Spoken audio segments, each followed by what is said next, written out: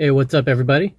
So you all know that I love my FJ Cruiser, but it's sometimes difficult to see the signal light when you're at the front of the line. So if you've driven up to an intersection and you're at the very front, whether it's the first car or the second car sometimes, um, it's very difficult to see the traffic light uh, when you're looking out the windshield. As I'm sitting here waiting for the light to turn green, sometimes I'll have to kind of bend my head down below just to kind of get a, a glance at the light. So uh, there's a product out there called Light in Sight. All right, so this is the product. Uh, came in a regular letter size envelope and uh, opened it up. There's my invoice. I paid $23.95 for this. And when you open it up, it's got some instructions and here's the product itself. So we're gonna go ahead and take a look at these instructions and uh, follow the steps and then get this thing installed.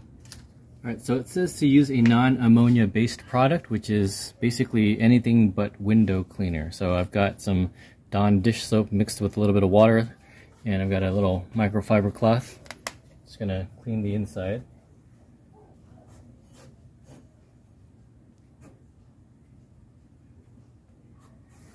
Alright, up next it says wet the inside of the windshield thoroughly with water. Place the smooth side against the glass curved side down. This wasn't mentioned in the instructions and I saw somebody else install this using distilled water. So I've got a little uh, distilled water that I'm going to use. I'm going to wet the inside and uh, go ahead and get this installed. Uh, what I'm going to do is I'm going to place some of this distilled water into this plate okay, so that I could soak this thing thoroughly. Let's take it to the windshield and get this thing in there.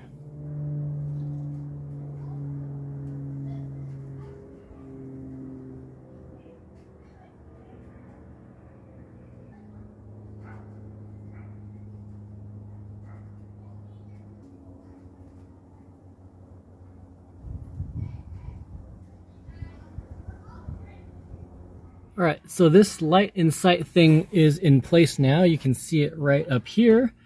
And you can kind of see what it does. It kind of refracts the image of whatever's above there. This is my garage door. When I was researching this, and this is something that people have uh, maybe been concerned about, is whether or not this product could lead to, you know, fires in the car, like potentially uh, concentrating the sunlight's rays into a single point in your car and uh, causing a fire much like a magnifying glass would eh, out in the hot sun. The way this is designed is if you take a really close look here, um, there's these sort of like ridges in there that kind of resemble the marks of a fingerprint.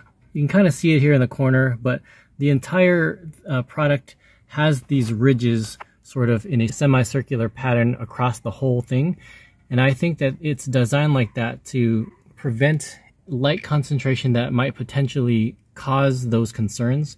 So far, I mean, obviously people have used this product without any uh, major reported issues from what I understand. So uh, it seems to be a, a well-made product. It's a very simple concept that, you know, not a lot of people think of, uh, especially in cars like the FJ Cruiser where, uh, you know, looking at signal lights uh, becomes a little bit of an issue. But yeah, for 23 bucks, I cannot complain. I'll drive around with this for, uh, you know, for a while and, and report back and see, see how it goes. All right, so here I am in a red light. This is kind of what our, my normal field of view looks like, but as you can see right through here, you can see the red light. So pretty cool product. I think it works fine.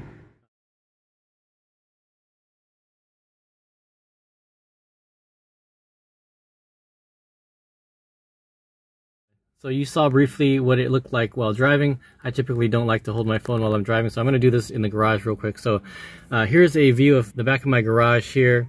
Uh, right now we have, you know, some luggage suitcases up at the top. My normal field of view would be something like this where I'm sitting up here and I don't see any of the luggage suitcases, but clearly you can see here through the light in sight that you can see the, the suitcases up there.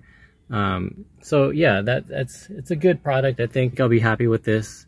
But uh, if you have the same gripes as me about driving in the FJ, then consider giving this a try. I guess that's it for now. I hope you guys found this helpful and informative, and I'll catch you on the next video.